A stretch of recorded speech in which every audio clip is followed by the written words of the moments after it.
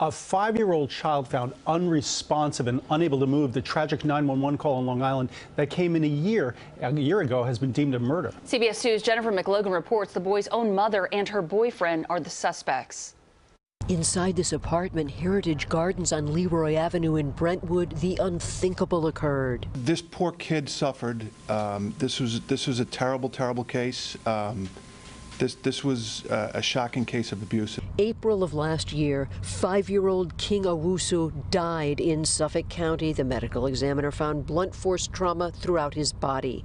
Now, a year later, his mother, Valerie Owusu, and her boyfriend, Emmanuel Addae, arrested and charged with murder second degree. They are held without bail. We hold people that commit evil acts and bring them to justice. A younger sibling not harmed is in custody of Child Protective Services.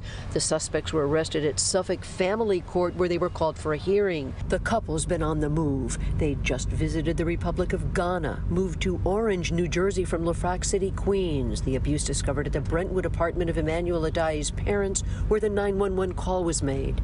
An ambulance brought the boy, King Owusu, from Brentwood here to South Shore University Hospital, but internal injuries were so grave grave. Doctors were unable to save the life of the child. He was beaten and it, it just breaks my heart. Last year, that this time, uh, COVID was rampant, so the ambulance coming up and down was a norm. I remember seeing a lot of cops in the area wow, that's so sad. There's a lot of kids around, you know, and the people seem nice that live here, so it's very, you know, shocking. Anxious residents were told Owusu works in a consignment shop. Her boyfriend Addae is a driver for hire.